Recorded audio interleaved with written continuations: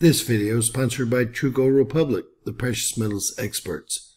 Talk to one of their experts today about diversifying your portfolio to help assure your future financial security.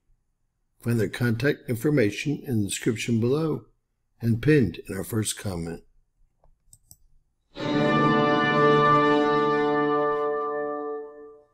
James Kaufman, World News Report today.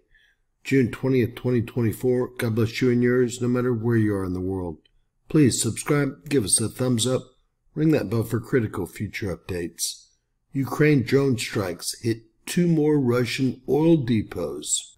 An overnight Ukrainian cross-border drone attack impacted several regions of Russia, resulting in the death of a civilian woman in the Krasnodar region and setting several oil depots ablaze in other areas.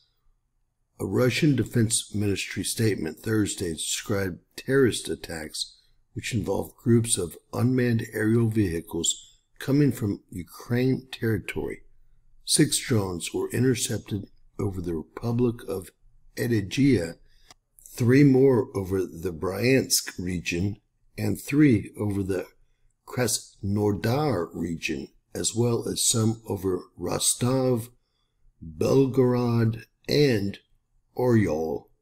Additionally, a statement from the governor's office of the neighboring Republic of Adygea said that one or more drones struck an oil depot in the village of Enem and ignited an area as large as 400 square meters. Another oil depot was set on fire with an oil storage tank destroyed in the central Tambov region. The governor of Tambov confirmed, starting early this year, the Security Service of Ukraine, the SBU, and Ukraine's Military Intelligence Directorate, the GUR, began openly touting an active campaign to take out Russia's oil refineries, thus directly harming its energy exports. The exports help Russia fuel the actual war. God bless you and yours. Please share, subscribe, and always remember that anything's possible in Bizarro World.